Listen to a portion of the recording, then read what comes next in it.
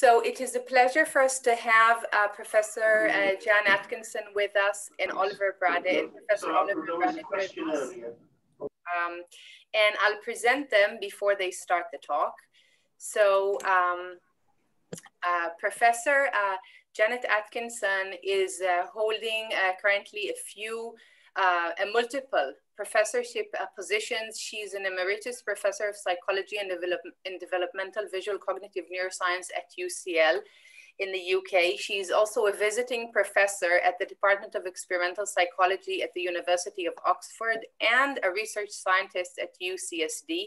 She's won uh, received numerous prestigious awards and memberships, including the uh, Visual uh, the Visual Sciences Society 2016 David Teller Award, which I was uh, um, I had the honor to be present, and I'll tell you some anecdotes about that. She's also an elected fellow of the British Academy and many other academies and prestigious awards. She's held uh, numerous academic positions in prestigious universities in the UK and abroad. Um, she was also active uh, via uh, senior academic and administrative positions in promoting women in science, which is something that is close to my heart, uh, through Athena Swan initiatives, uh, promoting women in STEM, gender equality, etc. She's published hundreds of publications in uh, prestigious uh, journals, in um, books, book chapters, etc. Um, um, Professor um, Oliver Braddick is also holding uh, multiple um, uh, professors, has held and is, is, is, just a minute, I'll do that. Um,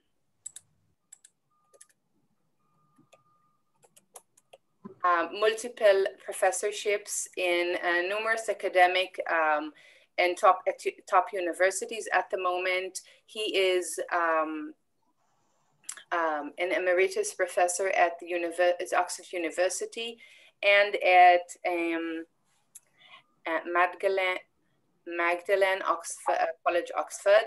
Uh, he's uh, been awarded multiple prestigious awards. He's a fellow of the British Academy. He's held uh, multiple um, editorial positions in esteemed journals as Current Biology, Perception, Vision Research, Journal of Vision, Quarterly Journal of Experimental Psychology, and others.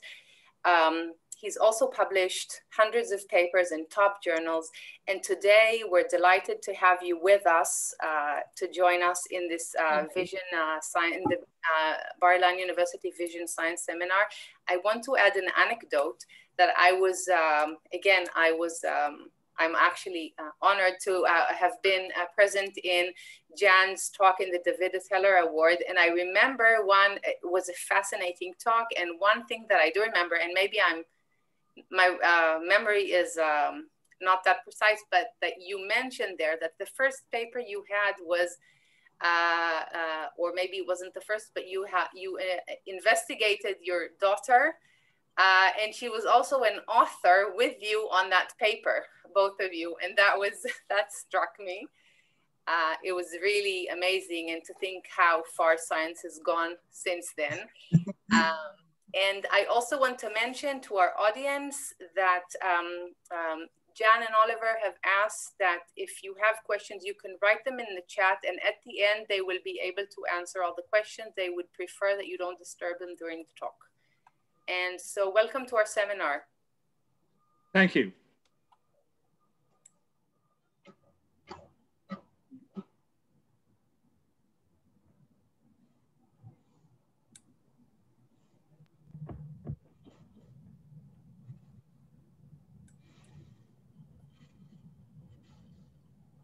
Hello. Um, Sharon did forget to say that we were husband and wife, but I oh. think most of you know that. Um, yes, you're absolutely right. and those hundreds of papers where almost all of them co-authors, so don't try and add them linearly. okay, sorry I missed that point. we're, we're going to talk today about um, some questions that we still have. We've done quite a lot of work on visual development, um, but we still have a lot of questions. We're going to start by showing a short video, which lasts about five minutes. Um, some of you may have seen this before, so I apologize for that. It's slightly historic because the video was started and has been modified many times since we first uh, filmed some of these uh, babies. This is actually done live, and so the quality is a bit mixed because filming babies when they're actually doing something is quite tricky. And uh, I hope you like this and it will give you some idea of the techniques we're using. Then all will speak and then I'll speak after that.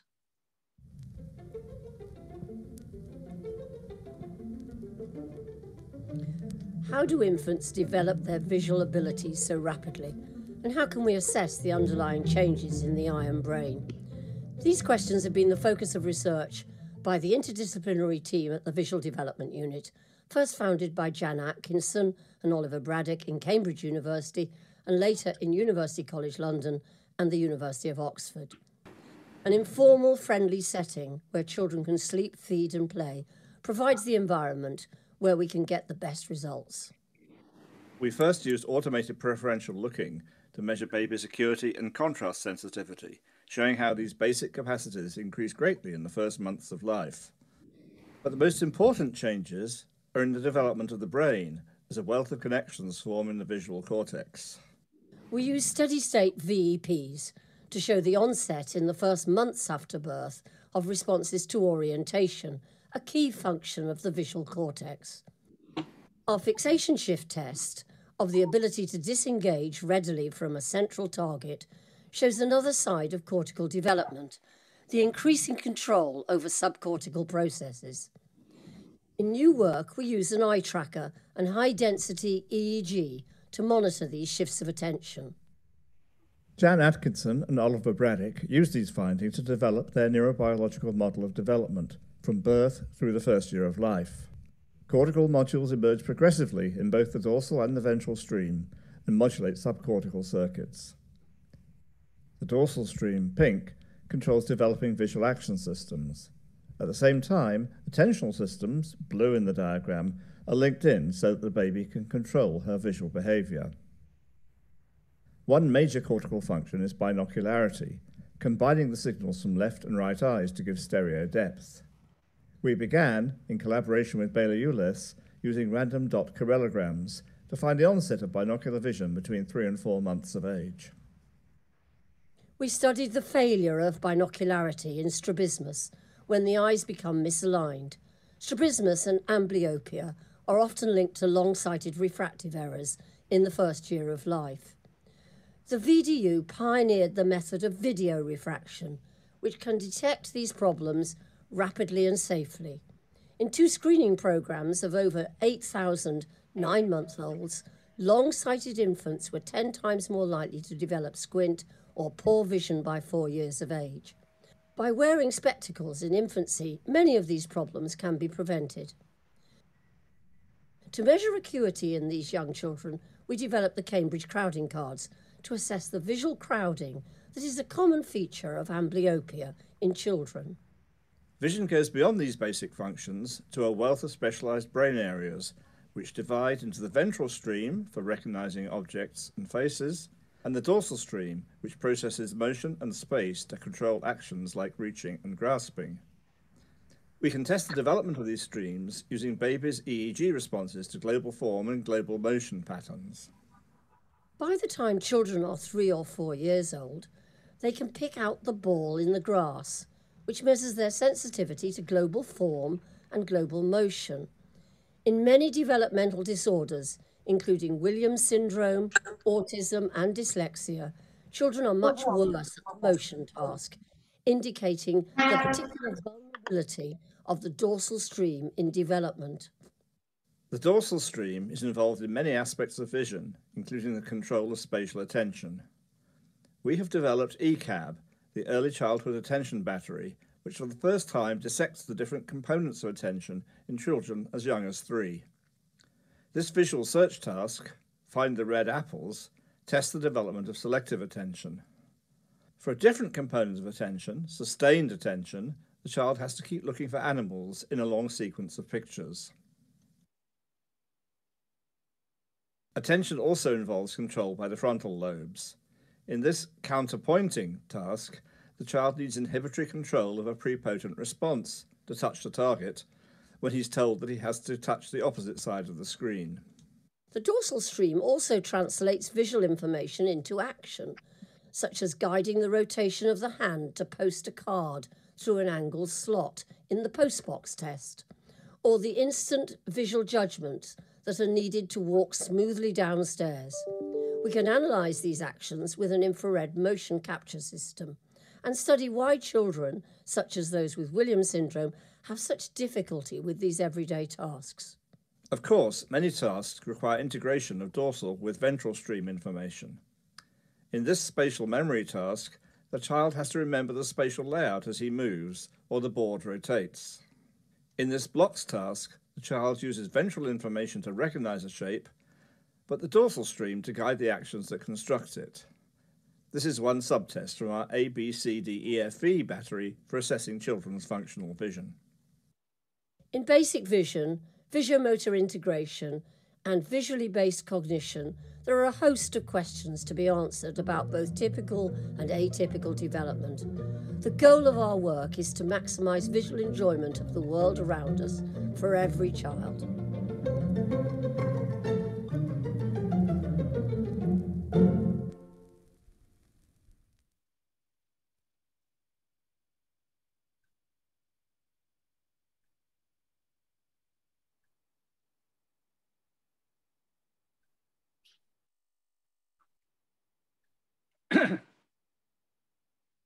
Okay, so we're going to take up some of the lines of work that were described in that, in that short film uh, and point out the extent to which there are unanswered questions and, and new uh, perspectives that we need to take. Are you going? Am I all right? Am I audible? Yes, yes, yes, there was background noise, so I muted them. Okay.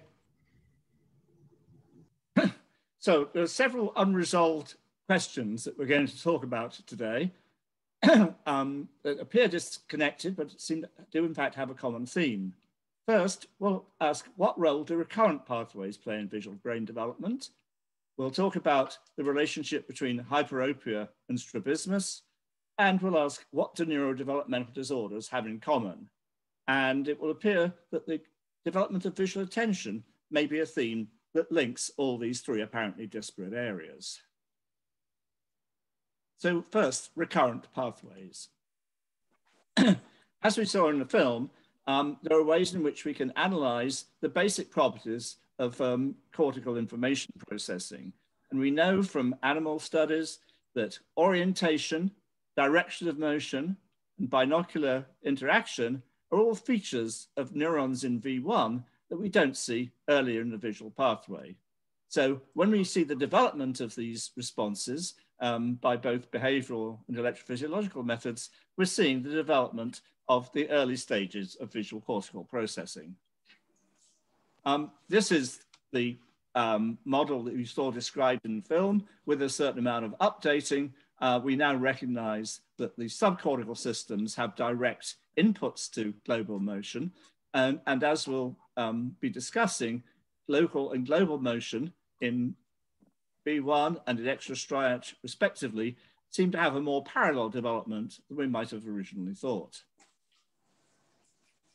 Um, now, a feature of the extrastriate areas involved in global processing is that they have large receptive fields that integrate information to extract global properties. And we can assess this through thresholds for coherence in the two cases you see here. Uh, here we've got 100% of dots are all taking part in the same rotary motion. And as you go across from left to right, you're getting more and more noise, less and less coherence, and we can determine what level of coherence is necessary to get a response. The second row shows a parallel test for form coherence, where the individual elements are not dots, but little line segments, arc segments, and again, 100% concentric organization can be degraded by down to 0% coherence. And in the um, experiment that you saw briefly described in the film, uh, babies can be tested for the transition between coherent and incoherent as to whether that introduces uh, an evoked potential of EERP at the frequency of this reversal. So here are some results of that uh, approach, which we um, published a few years back. Uh, look at the topographical distribution of the signal for both form coherence and motion coherence. And looking at the five-month infants down in the second row, you'll see first that they um, showed responses both to global form and to global motion. So both these levels of global processing were present. Um, that, um, that these are different, so they're apparently distinct networks, and that the pattern is quite distinctly different from that we saw across the scalp of adults with the same Implying then that global processing become, undergoes significant reorganization between infancy and adulthood. So what's the nature of that reorganization? Well, first, let's be clear that our data show that both local motion responses and global motion responses are present by at least two to three months of age. And we haven't seen any evidence that there is a local to global progression in development with the local processes preceding the global. So there's an interaction between striate and extra striate signals for motion processing. The, as it were, classical textbook view of the visual pathways in the brain is that information from V1 is progressively refined, made more specialized for different areas, different um, um, properties such as color, binocularity, and orientation, culminating in um, face recognition and similar properties in the ventral stream and spatial processing in the dorsal stream. But the notion that these arrows are in one direction is clearly obsolete.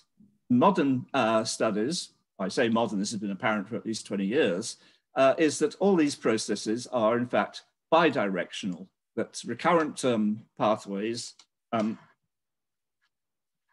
sorry, the recurrent pathways go both ways. All the red arrows are accompanied by blue arrows uh, linking two areas.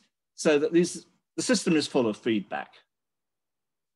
Now, what about development? Well, the evidence on this is still quite sparse, but Burkhalter in anatomical studies found that between V1 and V2, by four months of age, that forward connections, feed forward connections, already had the laminar structure that was found in maturity, uh, whereas feedback connections were still markedly immature, suggesting that feedback came later. Um, this is also supported by some uh, evoked potential experiments done by John Wattam-Bell in our lab, um, where he looked at the sequence following a transient change from um, uh, of the onset of motion. And in the infant, he found the initial response was in the um, occipital pole in V1, and that then later spread to extrastriate areas, as you see in this sequence here on the left. On the right, however, in the adult, the sequence was quite different. That at the start, there was substantial activation of extrastriate areas, and that this became focused uh, in, in the occipital area and with a reverse polarity over um, the course of the, of the um, in, um, evolution of this response. So this sequence in the adult is highly suggestive that you're getting feedback from extrastriate to striate areas, whereas there's no sign of that in the infant. So the development of feedback seems likely to be a key aspect of development in visual motion processing um, and presumably is also involved in the other visual cortical systems too. Remember all those arrows that we saw in the anatomical diagram went both ways. What function do these recurrent feedback connections serve? Well, there are several suggestions. Uh, one is that they enable global contexts to affect local processing for, topic, for issues such as segmentation and figure ground. They're clearly going to have a key role if predictive coding is present, and that's a rather fashionable idea in visual computation, uh, that predictions had to be fed down to the early stages.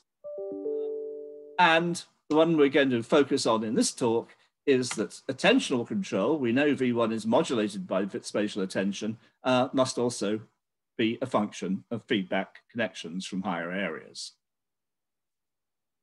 Um, hopefully, we're going to be able to discover more about this in the years ahead uh, as the infant connectome gets us more, more and more detailed data about how structural connectivity increases with age uh, and how functional connectivity, both between networks and within networks, develops at some stage, we hope this may be able to distinguish feed forward connections from feedback connections.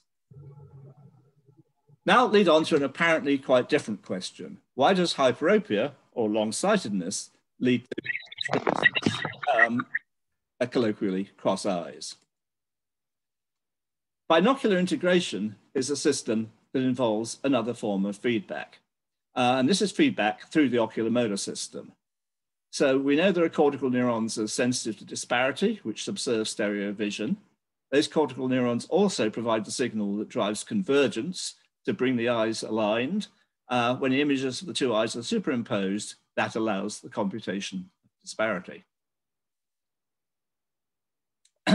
These binocular neurons are the basis for stereo vision, and as the, we seen, saw in the film, uh, we first see them in typical infants between three and five months of age, and that's in line with a wide range of behavioral evidence that stereoscopic vision is developing around this period.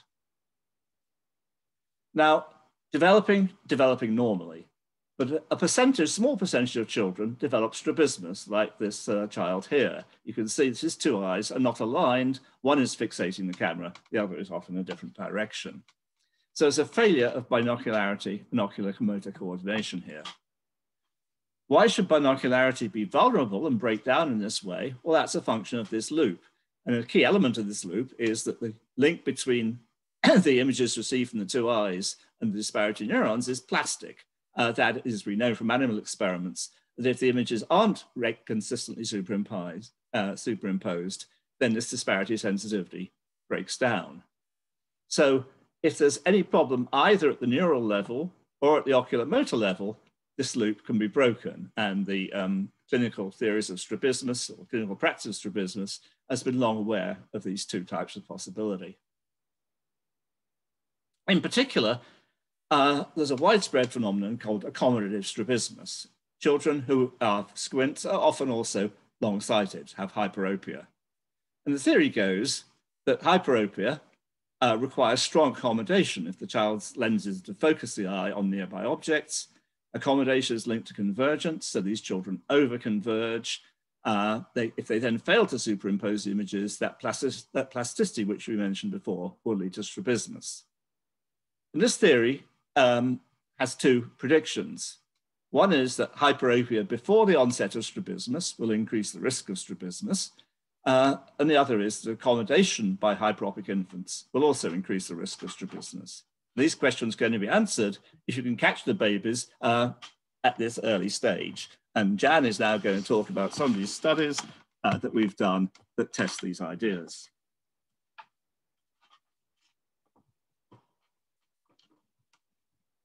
Okay, we start with a screening program that we ran a long time ago on many infants that were nine months of age in a population screening program to measure long-sightedness, short-sightedness, and anisometropia, refractive errors in infancy.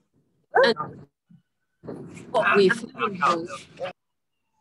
we use video refraction, and this is a video refractive image of um, hyperopic astigmatism, which you can see as the size of the blur circle or blur ellipse in the video. This can be measured and calibrated to give you a refractive, a measure of refraction.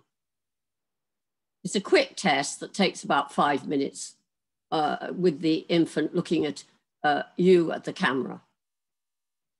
Um, in this screening program, uh, the screening program was run to see whether um, refractive correction uh, could reduce strabismus and amblyopia, which are common problems in infancy uh, ophthalmological problems. Uh, we ran a randomized control trial with appropriate spectacle correction for significant hyperopia and anisometropia. We followed up these children from four to seven years at four, six, 12, and month intervals. And we ran many other tests besides visual tests and visual measurements um, uh, cognitive, vision, motor, attention, and language. And uh, I'm just going to talk here about the attention measures, uh, the strabismus and amblyopia, and the attention measures that were made at uh, six, five to six years. This is the, the results for strabismus and amblyopia in the treated group, which you can see here is uh, eh, on the right of this graph, and the non-spectacle group, which is in the middle. There were also a control group that were picked up at the same time in the randomized control trial, which were, had normal refractions at nine months of age. They were followed up as well. You can see that if you look at the yellow uh, panel here um, for amblyopia, you can see that spectacle wear reduced amblyopia quite significantly. You can also see that if you look at the red bars, that strabismus was reduced between the no spectacles group and the spectacles group.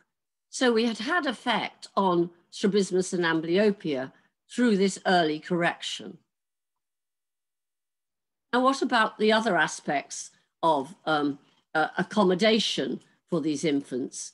We measured accommodation and focusing ability in the hyperopic infants um, at the same time as we ran cycloplegic refractions for getting their uh, um, um, for getting their refractive correction. Um, we found that infant hyperopes were poor accommodators in general, and the infant hyperopes who were poor accommodators became strabismic, as you can see in this, uh, but this plot on the left, which shows actually that the blue area, there was 14 out of 76 hyperopes who under accommodated who became strabismic.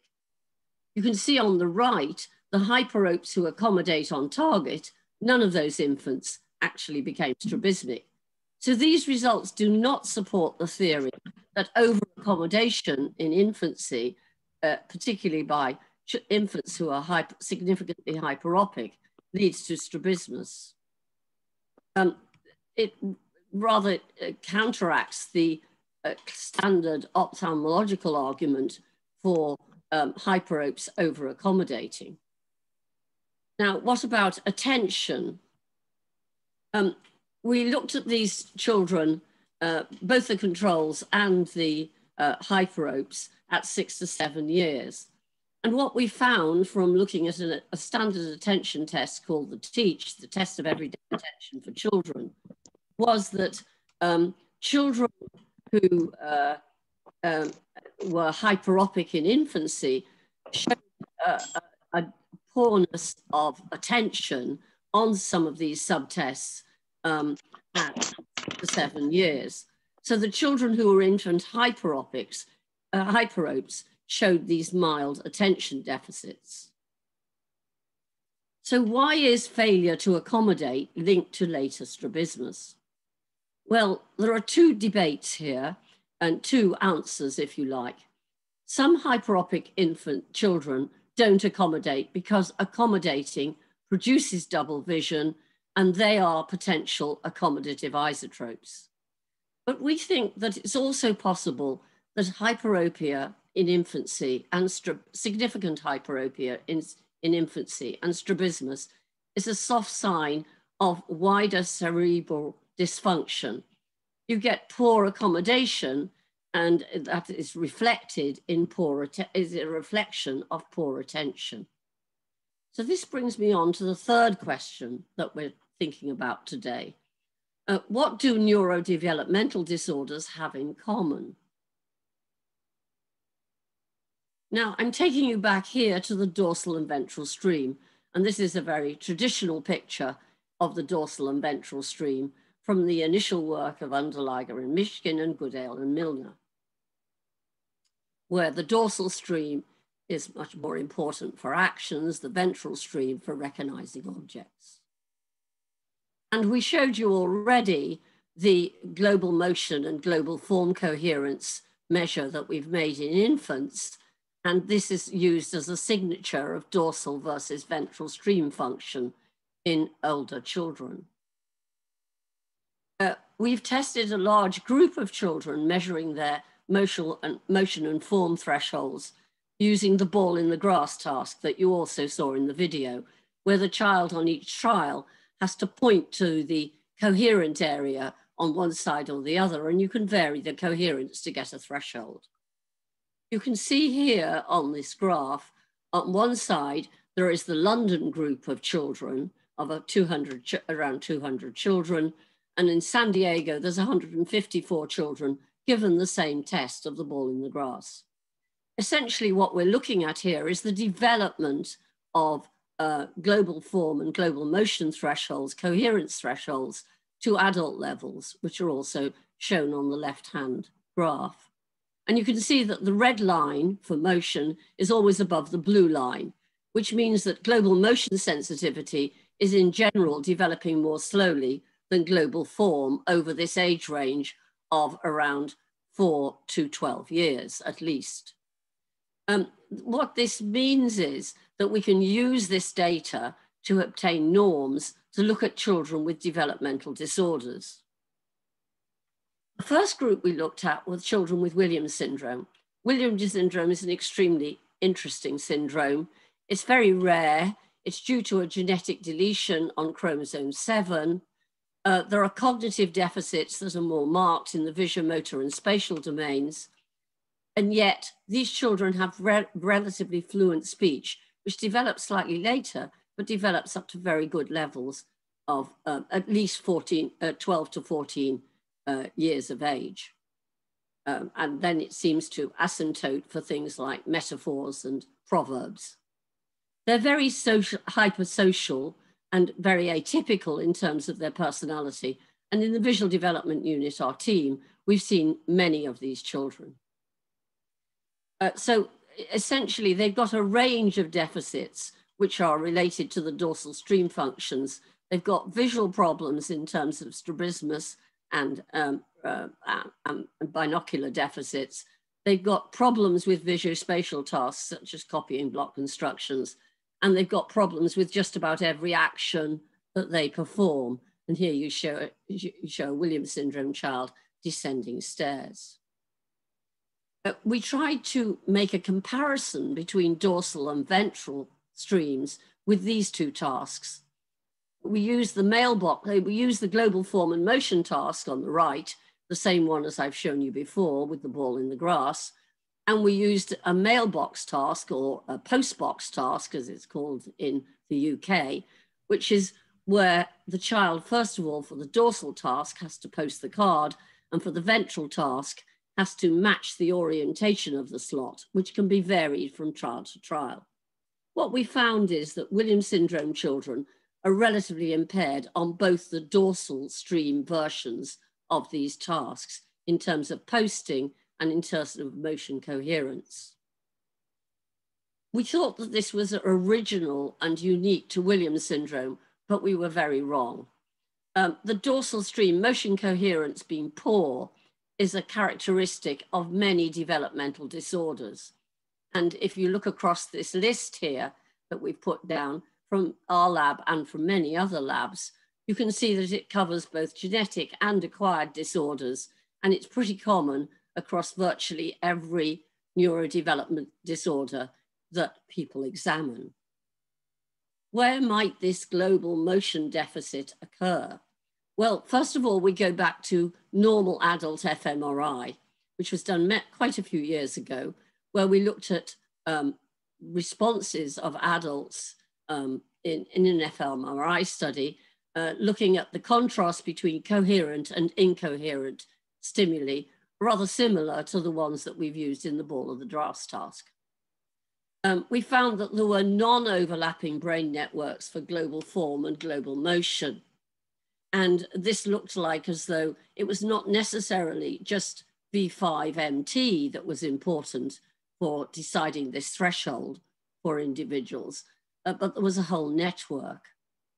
Uh, we know that from recent work by Sharon and her colleagues um, that it's not necessarily just V5 and MT, which may not be exclusively dorsal stream areas, and there may be other inputs to that area that may be important.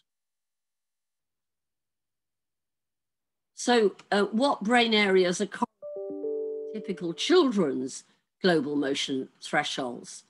Well, here we're looking at the San Diego group again, who also had uh, imaging um, at the same time as they did the task, the other cognitive and ball in the grass task.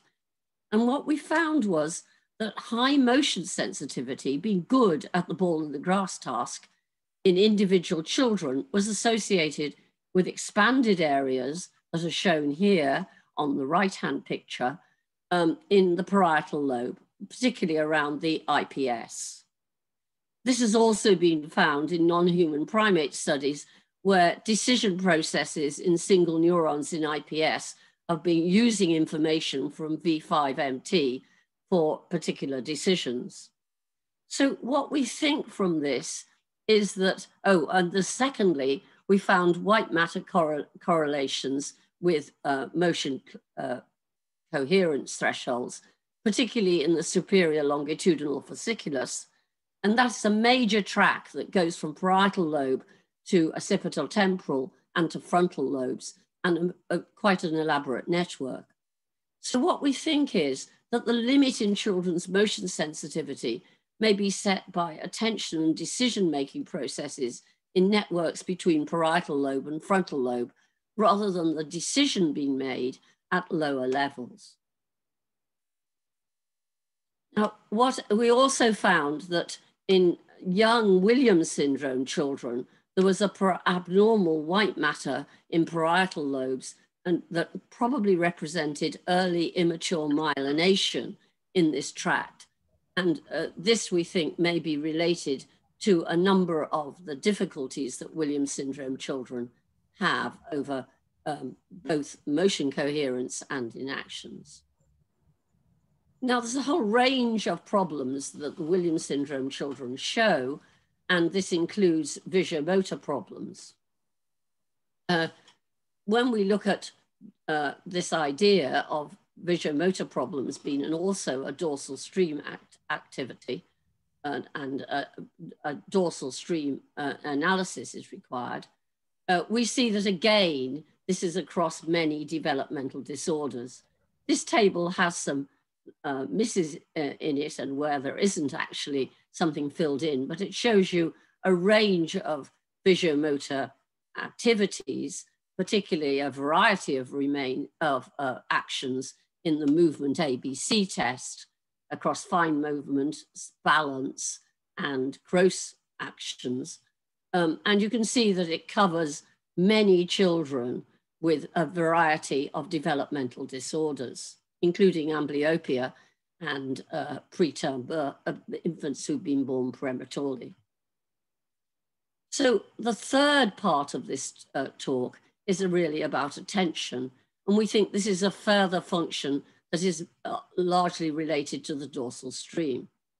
This is a picture that we, uh, a diagram that we, a schematic that we set up some time ago, showing from adult and non-human primate studies of the areas of attention in green here that overlap with many of the other areas that are related to the dorsal stream. And there may be even a few more than this now that aren't on this diagram. This is similar to the ideas that Kravitz and Mishkin put forward in a review of, in, uh, of the dorsal stream um, and it really talks about three dorsal streams or three dorsal networks, one for visuomotor actions, one for spatial cognition at the top, and one for attention and spatial memory at the lower one. And these are the three that we think are related to each other via the dorsal stream networks and are, but they may be different dorsal stream networks and different interactions. So we've come to dorsal stream vulnerability where the visuomotor and attention deficits um, that cover many different forms of developmental abnormality. Now, what about the hyperopes? Well, I've shown you already the graph on the bottom, which is their attention deficit at seven years for children who were significantly hyperopic in infancy. They also show mild visuomotor deficits compared to typically developing children, and they show uh, some spatial construction deficits on the block construction task. When we look at very premature infants, you can see that all the boxes here for attention, spatial location, memory, global coherence, block copying, and visuomotor problems, and in fact for stereo vision, are all uh, groups of children who are born preterm a significantly higher number of them are showing deficits on these particular tests at six to seven years. And this is a large group of children, very prematurely born children. So it's common across uh, preterm children, infants with preterm, infants and children with preterm birth. Now, what about infancy? Well, a long time ago, we started the fixation shifts paradigm, and this was shown on the video, uh, perhaps in not quite the same format, where you have a central stimulus that the infant is looking at, which is a schematic varying face. And then when the infant is fixating the central stimulus, you switch to either a single target in the periphery, which is way above acuity threshold, or you switch to leaving the face stimulus on and switching to the same bar in the periphery. And you look for an eye movement and sometimes a head movement as well by the child to the peripheral target. Um, we can measure the latency in these later studies of these shifts. And what we find is that in general, children are slightly faster uh, if they're beyond four months of age, and they can do it in both non-competition and competition. But infants around birth and in the first few months are very sluggish or very poor at actually shifting under competition. We had a confirmation that this was a cortical process of disengagement that we were looking at in competition between two targets from our work with two children who had very early hemispherectomy to relieve intractable chronic epilepsy. They were operated on at four and eight months of age. Before operations, they showed very few visual responses that were in the normal range. And after they'd had surgery and a few months later, we found that they showed no fixation shifts to the impaired half field under competition, but normal uh, fixation shifts to the good side, uh, to operating with the good side of their the good hemisphere.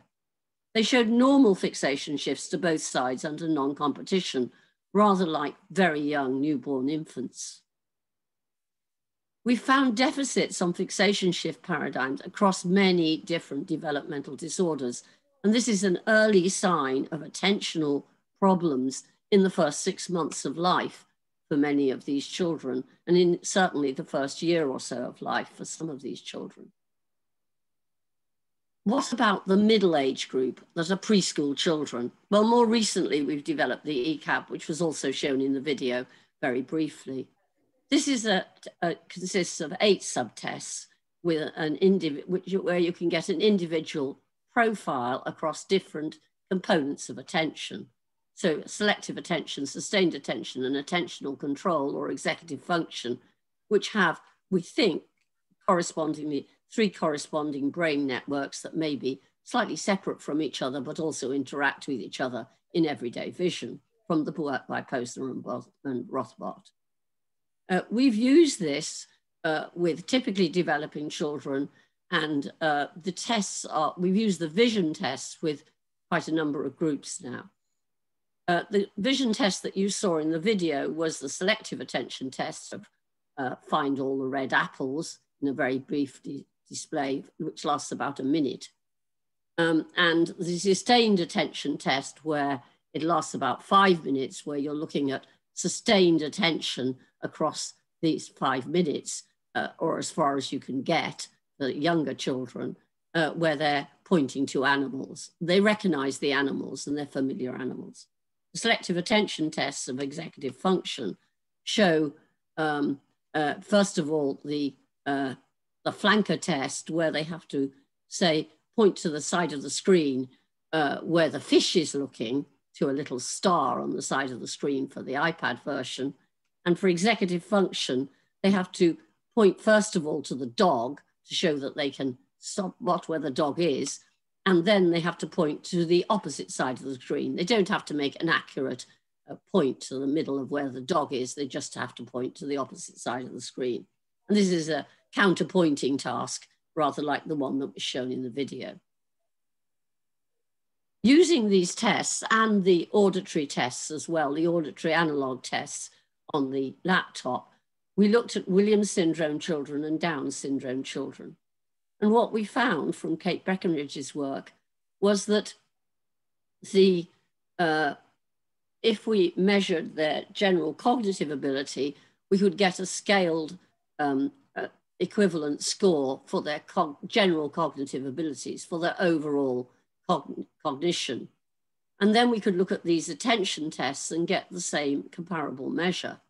And what you see is if you take their cognitive level at 10 here on the side of the graph, on the vertical axis, which is the scale score, the mental age, if you like, then you can see that most of the bars fall below that line, which means that on those tasks and those for those particular components, these children show an attentional deficit which is over and above the that would be predicted from their mental age. we see different characteristic profiles for the two disorders. They're not exactly the same. So for example, if you look at counterpointing, which is in purple here down the bottom, you can see that the Williams syndrome children um, show a bigger deficit, which is lower yellow bar, than the red bar, which is for the Down syndrome. We've also used this test in the Oxford trial of dietary supplement for children with perinatal brain injury, who, where the injury was detected at birth, usually from MRI. Uh, these children received a two-year dietary supplement, uh, which uh, is a component precursor of neuronal membranes in the hope of improving their brain development early in life. We did follow up tests at six months and 12 month intervals for these children up to seven years. I'm just going to talk about the attention tests at five years. Uh, this is the, these are the results for these children. And once again, this time, the scaled uh, score for mental age is at 100 here on this graph. And you can see that all the yellow bars for these children with perinatal brain injury tested at five years uh, are below. And they are significantly different to the uh, scores for typically developing children. So the attention scores are lower than the mental age score, showing that these children have an additional attentional problem over and above their general cognitive abilities. We also found that actually the supplement made a slight improvement across the flanker test and the counterpointing test which are the executive function tests. So you can see that the blue bars for the children who were given the dietary supplement are higher than the orange bars for the children who weren't given the particular supplement. They were given a, a, a additional feeding, but they didn't include the supplement. Now on the iPad, we're able to see that uh, we can get more precise measures of each individual child's reaction time. And when we do this, we see even bigger differences between different attentional problems across different developmental disorders. Here's a new study that we're in the middle of really now, and uh, we're looking at uh, uh, Down syndrome and Williams syndrome, and we're looking at on the, the blue bars are the typical scores for children of three, four, or five years, three to four, four to five, five to six years from the initial typically developing children. And the uh, red score is for Downs and the yellow is for Williams syndrome. We've got the hits here on the visual search, the number of apples that they actually managed to touch in a minute's exposure to that particular in that particular conjunction task on the right, you can see the false positives. And one thing you see is that the Down syndrome children make many more impulsive touches of non-targets than the Williams syndrome children or than the typically developing children, which shows a different difficulty, if you like, of attention in this task. So in summary, diverse developmental disorders um, share a pattern of deficits related to, we think, the development of the dorsal stream systems. And this is one branch of the dorsal stream system, it's many. And will involve, and will involve forward, feed forward and feedback mechanisms in the developing brain. We found impaired global motion sensitivity in our tests, always in comparison to static form. we've found visual spatial and visual motor deficits, and we've found impaired visual attention across many very different developmental disorders. These are very different in terms of both their origin and in terms of their behavioral phenotype that results from these early beginnings. And so we don't imagine that they'll all be identical in showing the severity of these disorders or the uh, timing of these disorders. So where does shared dorsal vulnerability come from? Well, dorsal functions depend on precise neural timing. This timing may be vulnerable to disruption across different neurodevelopmental disorders and possibly due to different etiologies. Dorsal stream networks are more vulnerable than ventral stream networks, perhaps during a particular sensitive period of early development. And attention and visual motor control and global motion sensitivity, they all depend, all these tasks depend to some extent in everyday vision on dorsal ventral integration. So this may be susceptible to disruption in many different networks in many different ways. So I've left you with lots of questions, but how can we conclude? The many ways in which visual, visual attention is involved in development may be a theme that links our apparently different questions. Understanding the key role of different networks of attention will advance basic scientific understanding of visual development, we hope. We need to understand the trajectories of atypical development across different disorders in a much more cohesive manner. Hopefully, this may provide ways to guide future treatment and rehabilitation, allowing each child to reach their true potential. These are all the people that have been involved in quite a lot of this work and many collaborators. They're all in alphabetical order, and we hope we haven't missed anybody out. But thanks particularly to the children and families who have participated in our studies. Um, thanks to the collaborative teams in vision, cognitive science, imaging, ophthalmology, and pediatric neurology outside our unit who we've worked with. And we've mentioned many of these people here. And again, we are very thankful for the good collaborations we've had over many years. Thank you. Thank you very much. Thank you. I invite everybody to unmute themselves and let's give um, a big applaud uh, to Jack Oliver. This was a very interesting, inspiring uh, talk about a lifetime of uh, investigations in visual development. And I invite everybody to um, ask questions if that's okay. Yes, that's fine. Yeah, okay. Can I can I ask a question? Yeah. First of all, thank you very much for your wonderful talk. I think it's very informative and actually teaching our students all of your work of, of your life. It's very, very remarkable. So my question is, we know that most of infants born as hyperops, and then we have the, over the years, the the change to myopic, myopic. How is changing actually, how it affect your study? Because you mentioned that you monitor the hyperop, but most of them on, the... Okay, well, two things to say about that. Uh, first is, yes, of course, hyperopia generally decreases, um, indeed before the onset of significant myopia in most cases. And that in was our a, population. Well, yes. Yes. And in um, that was, of course, an important component of the way we carried out this trial. We had to re-refract these children regularly, uh, always, we never giving a full correction for hyperopia to make sure they were never over-corrected. Um, and we, this is a process sometimes known as emmetropization. And our studies indicated that these prescriptions we gave didn't uh, slow or impair that rate of emmetropization.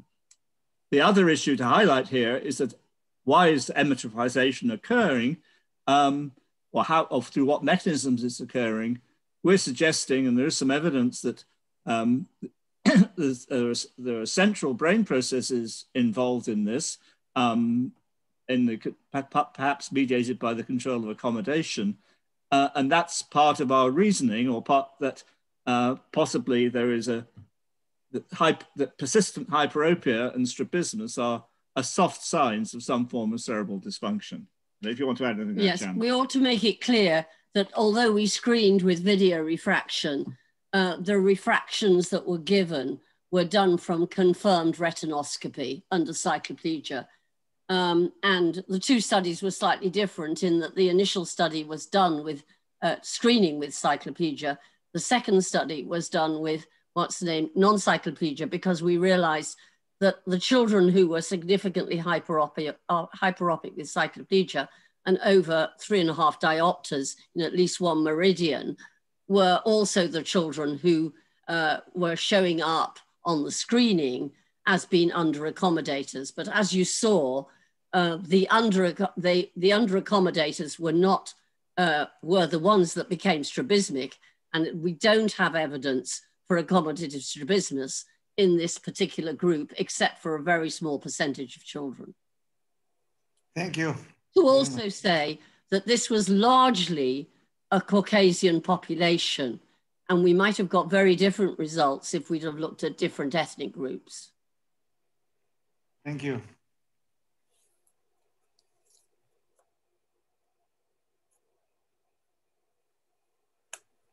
So I have another comment, what Oliver said.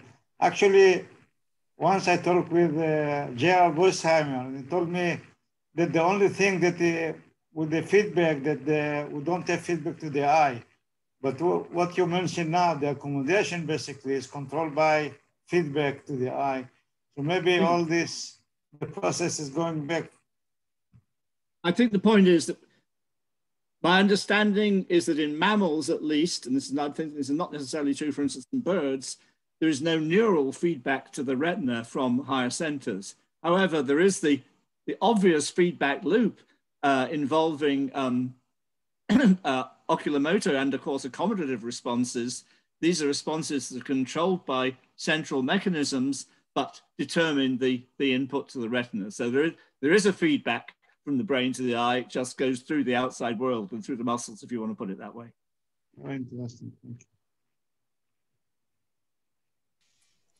Can I ask a question? Sure. About the dorsal vulner vulnerability, how sensitive this was to the difficulty of the task? It could be that maybe the form uh, was easier on a, for a typical uh, individuals and then um, the, the tasks were not equal in difficulty. Could that be a part of the difference? Well, well, we did try to match on the adults the difficulty of the task. And in fact, on the larger adult groups that we've tested, we haven't actually at that stage got a significant difference. Although there are individual differences, there are adults adults who find one of the forms, either the form or the motion, more difficult.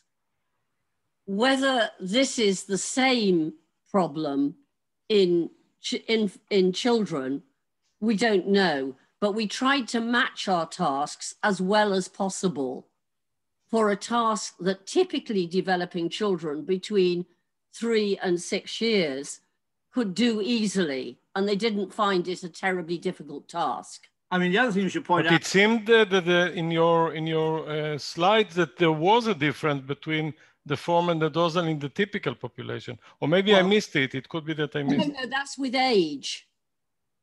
With through age, through the different yes. ages. Yes. yes, but that's what we did with the uh, children with. So they are not matched in that sense. I mean. Well, they're not matched except well, two points. First, first is that the um, the threshold is determined by an adaptive procedure, right? So you're always you're always testing at the level where the children are getting about 70% correct. That's that's got you. Okay, that's important. Yeah. Now I understand. Thanks. So, so so yes, the um but in that sense, and the other thing is the tasks are designed to be as similar as possible. In fact, the the little arcs used in the form coherence task are simply the same dots that you would plot in the to get the motion, only they're, um, they're plotted simultaneously rather successively. Now, of course, that doesn't necessarily match the difficulty. And as Jan has pointed out, the difficulty is not matched as a function of age. So the, the four among the four and five year olds, the motion thresholds is substantially higher, and then they tend to converge as you get as you get older. So there is something about the motion task that makes it that makes it difficult. We agree, and that in a sense is the is the core of the argument.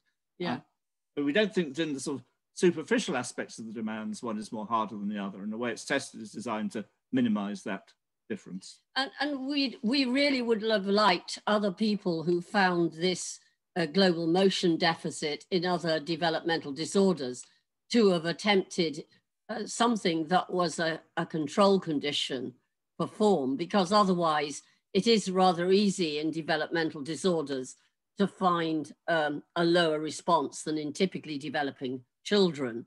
So uh, we think this is quite important for looking at other disorders and always to have uh, a normalization and quite a lot of results from typically developing children of the same mental age um, for these particular tasks, because otherwise you're just pointing out the difficulties that are fairly obvious with some of these children with developmental disorders because they have a lower mental age. I think one other thing we should point out, or admit if you like, is that of course the motion stimulus in particular um, is one, one element in a huge parameter space. That is, we have used a, a particular velocity, we've used a particular yes. limited lifetime of the dots, etc., etc. Um, there's a, some work has gone on um, looking at the different developmental course that's dependent on velocity, for instance, but that's just one parameter uh, in the stimulus that we use. And whether the stimulus we use is actually the optimum. the optimum one for revealing these differences, I think is going to be very hard to determine uh, unless there's a big effort to explore that parameter space. Um, I'd also like to ask, I mean, this is uh, really interesting, the fact that you found uh, all these deficits in uh, dorsal related functions. Um, I want to ask if you, if these individuals um, you you think you can uh, um, um, rule out the possibilities that they also have ventral related uh, functional uh, deficits? I mean, is it mostly concentrated in dorsal? And if that's the case, then do you think this is like um, kind of like completing a double dissociation between the uh, dorsal and ventral um, separation or independence? I, I don't think it's as simple as that. Um, I think what we're arguing at the moment is that um, a lot of these deficits may originate in earlier attention deficits and controlling eye movements as well as ever, you know which is what you're looking at in the fixation shifts and that if we look at the tasks that we've uh, demonstrated in this talk, they contain a ventral element very often, as well as a dorsal element. And so I, we're personally in favor of this being dorsal vulnerability in terms of vulnerability at a particular stage of development, possibly more in the dorsal stream than the ventral stream, perhaps in these early attention mechanisms. And that having a a problem for the child when they have to integrate information across many different processing streams. I think, I think the point we do have to emphasize is in our work, we're always trying to do it by a comparison of the, in, or at least in, in the coherence task, a comparison of, of, of form and motion. Uh, now, men, I'm not, we're not saying these children are up to normal levels on the form coherence task. It's just that their impairment there is much less than for the for the motion yes. coherence task. We would want to encourage people who study developmental disorders, and for instance, there's an awful lot of people who have looked at uh, motion de deficits in autism, and there's a quite a controversy about that, but um, only a minority of those studies have actually compared motion with a, a task that is designed to be comparable. That's that's that's what that's what we've done. And in some of our developmental orders, uh, developmental disorders, there are there are quite wide individual differences. And we have some children in the group that show deficits on form and motion. But usually it's the way round that we'd expect for dorsal vulnerability rather than ventral disability. But they do show poorer results than the typically developing children at that, at that equivalent age. I, th I, think one last point to make about this is that um, are there any are there any disorders which appear to show a predominantly ventral stream yes. problem? And the only one we can think of, but maybe people have better examples, is so-called developmental prosopagnosia. There is certainly big. There are individuals with a, a very poor level of face recognition. Um, they've mostly been tested ad, as adults. So I think one of two uh, cases now which have been identified where this kind of deficit is present and specific from an early age. So it is possible to have a, a, a ventral stream deficit. It just seems, from what we know, to be much less widespread uh, than uh, and, and, much more specific than dorsal stream deficits. Can I make can I make a comment? Yes. We, we did many years ago an fMRI study of amblyops, and we found a selective and severe deficit in face uh, in face uh, area activation in the amblyops. So Yes. That's typically considered ventral stream. So uh, sure. I'm yes. kind of kind of asked then, was that accompanied by a a behavioral deficit in there? Sure, sure, absolutely. Uh, amblyops, you know, severe amblyops have very difficulty recognizing faces because it's a very foveal uh, function. So that definitely okay. well, was. well, well, look for that reference. It sounds interesting. Thank yeah, yeah. Um, I'll send it to you. I'll be happy to send it to you. Yeah, Thank you. I, what I'd be interested in there were they poor at recognizing faces when they were in motion? I think I think we did not know of your beautiful results. Oh. I think this is an interesting question. Yeah, absolutely. About face recognition, yeah. because a lot of people who recognize the body movements and the facial movements of individuals for emotional uh, signals, and mm -hmm. seems to me that doing it with static faces may not be getting to the bottom of it. Well, that opens Absolutely. up, Absolutely. Which we haven't studied, but others have, of biolog- recognizing biological motion. And it's been striking that. Well, better. As individual, I mean, this is slightly off point because we're looking at a specific deficit, we believe, of V5. But for instance, uh, Zihl's um, patient who was uh, apparently, quotes, motion blind in many respects, was relatively good at recognizing patterns of action by biological motion. And there are a number of other examples of that kind. So that's, that's, a, that's a route by which motion information is getting into temporal areas uh, and may, it's an interesting question as to how far that may, is spared when other aspects of motion processing are apparently impaired. Um, I want to suggest, uh, yeah, Avi, I see that. Sorry, sorry, I don't if there's time. If not, you can do it via uh, afterwards by mail, I guess. No, no, no, it's okay. I just, I just want to um, mention just one uh, note, one thing that I think maybe people who have ventral stream related deficits are less uh, detected by society as having uh, perceptual issues because the syndromes that you are describing are ones that are evidently seen by just uh, neurotypical. I mean, these are people that you can detect there's something developmentally um, deficient in them.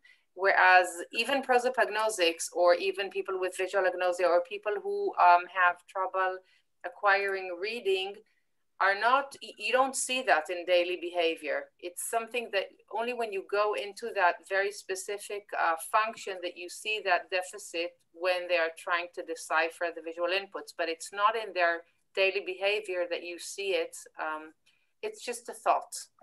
Um, uh, I, the only comment i can make there is that we used to uh, decide whether children were in the hyperopic group or the typical group um, uh, when they when we were watching them in our unit. Mm.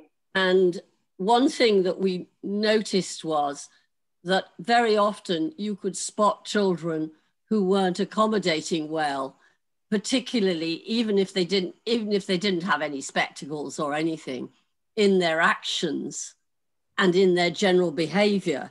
And so that led us to the other tests that we did with those children when they were older.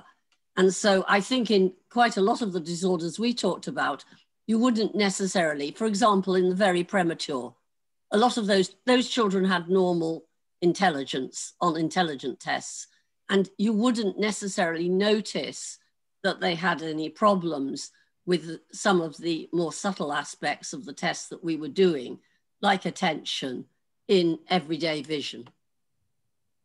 Thank you. Um, I think we should emphasize that these are the groups we're talking about are not groups who are identified primarily on the basis of their visual or visuomotor difficulties.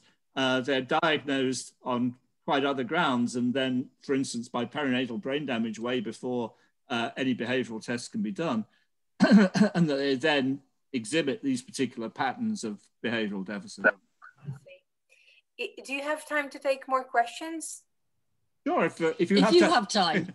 yeah, yeah, we have time. Uh, Avi, do you want to uh, yeah, um, if I if I followed correctly, you explained that there was the group with the lag of accommodation of over one and a half diopters, um, as in they were poor accommodators, um, and the, the the prevalence there of esotropia was higher, showing. Um, and if I understood correctly, you you took from that that um, poor accommodation, it, it, wasn't due to accommodation or even poor accommodation seemed to then result in esotropia.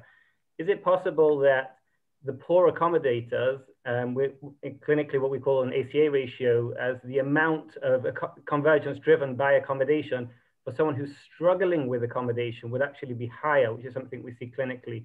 So even though the lag of accommodation would be larger, the amount of accommodation resulting from what their attempt to accommodate would also be higher.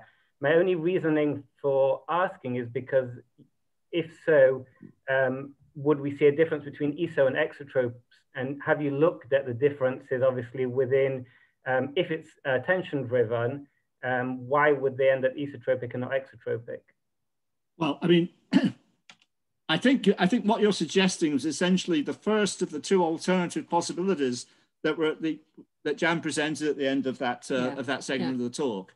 I mean, yes, there is a possibility um, that that some some children uh, under accommodate because when they attempt to accommodate, they have a, uh, a high AC over A, uh, and, and, that cause that causes uh, a breakdown of convergence. So that that's that's one that's one possible route, and we, we haven't got any any evidence um, on the question of, of exotropia, um, we, we just at this stage saw very, very few exotropes. I don't think we can say anything about that group.